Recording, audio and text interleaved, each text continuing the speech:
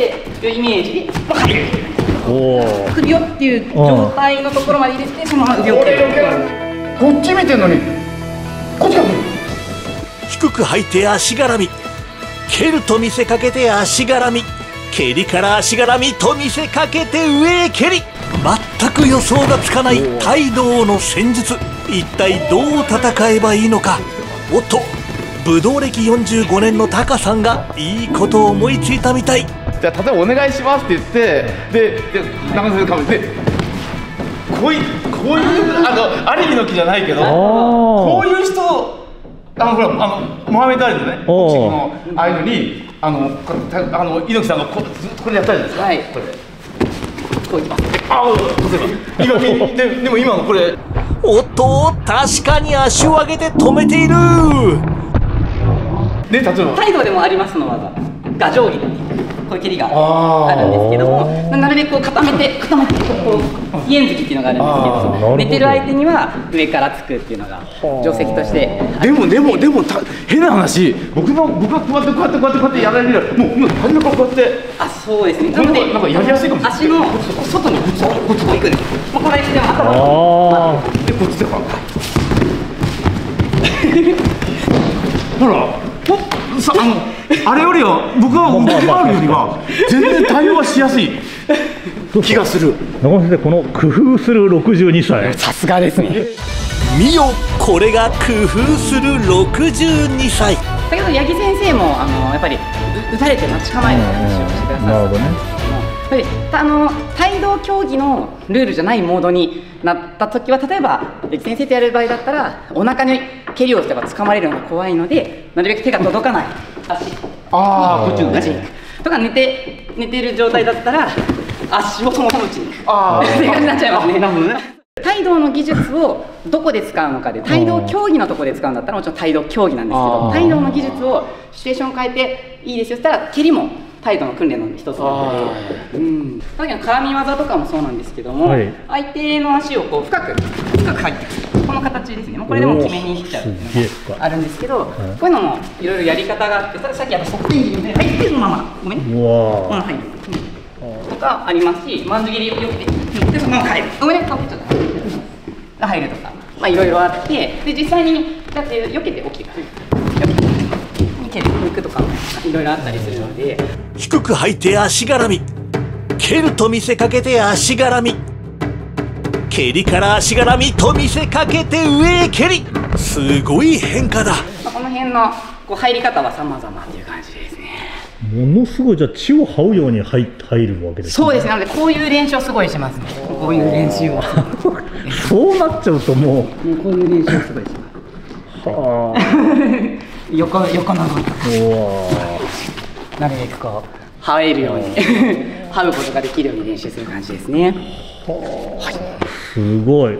どうですか皆さん。小手さんにやられたあれは、い、わゆる帯同の競技の中ではあります。反則ではないです。技ではないんです。あのあなるほど。バッチリありますね。あでもさっきのあのこのここれに対してのこのローキックみたいなやつまあダメです。あそれは なる空手とかと一緒で。あの寝てる相手は蹴っちゃう。ボクシング寝てる間は殴っちゃダメです。でもその帯同の技術としては、はい。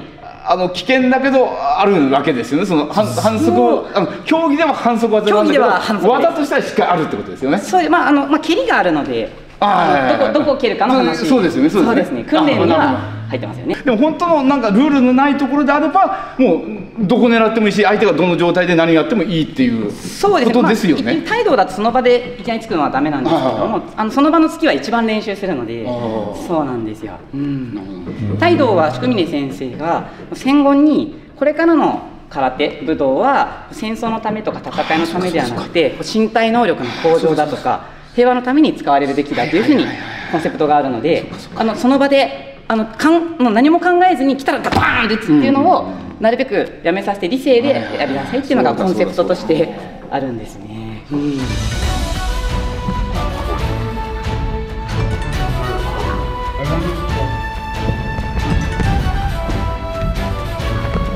次は沖縄空手の八木先生が体験。こういうふうに入ってたとしてそのままこういう感じですね。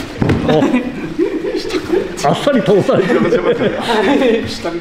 そうなんです。ね。ななのでこうとにかくこう上を見せるイメージでもう入るおおでこう引っ掛けて。ですねはいでこれがあのちょっとこうそのまま耐えてていただきたいんですけどもあの私じゃああっちに倒すので向こうに耐えていただければと思うんですけど。これがこういうふうになってくるとどうしてもどうしても耐えられないですよね、はい、向こうに行こうとしてもあのここにある棒がこの棒が曲がらないでこっちに回転したらそこに立ってる棒は絶対倒れてしまうのでこれが私が膝とかでやっちゃうと私が曲がってしまうのでダメなんですけど大腿骨ですね。ももの骨でやる分には。そうなんですよ。私のももの骨はなかなか曲がらない。ので態度や両体強圧という言葉があってはい両のももでしっかり相手を絡みなさい。ってお教えがありますで相手の安全を守るんだったら膝のところで逆に曲がるようにやってあげるんですけど逆感決めると逆に危ないっていう感じですね。さっきやられたのは足絡みにこう行くように見せかけてその万字蹴りみたいなそうですね。その技で一番怖いのが半月だっていう蹴りですね。あ。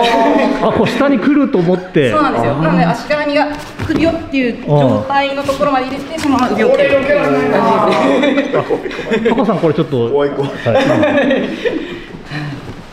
今のこれは、まあこれ型通りやるとこんな感じです。ねうん。でこれこれ、ま、あのねおおそらくですよ、もうもう一回お願いしますはい。こうでいやいなくなりましたよ。いなくなりましたよ。でこっち見てるんですよあそう僕は。ですそうです。あこっち。はい。あのか顔ででごめんなさい、はい。でこっち見てると今度はここから。そうなんでここここはいはいこここっち見てるのにこっちから来る。で相手は私の背中の方に来なきゃいけないのでちょここを打ちに行ってください。こっち。こうなるんです。よでここで打っていただいてこうやってで余計自分の手で見えなくなっちゃう。そうなんですそうなんです。で自分が来る分カウンターになったりするので。そうそうそうそう。すげえ北海道の大会でも結構事故になりがちでたまにあのこの技なくした方がいいんじゃないっていうふうに議論に上がっちゃうんですねあのあ危険技として。ああまりにこう救急車が呼ばれすぎるということで。半月蹴り。半月当てですね。半月当て、結構強烈な技です。ね、うんこれすごい帯同シリーズ2023まだまだ続きます。次回をお楽しみに。Everyone is a hero in 黒帯ワールド黒帯ワールドでは誰もがヒーロー。もちろんあなたも。それではまた黒帯ワールドでお会いしましょう。帯同の第一人者で柔道整復師でもある中野哲司先生が宮平保先生の凄技を分析する大いなる遺産中国武術。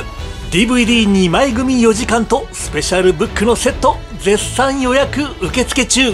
こちらもよろしく!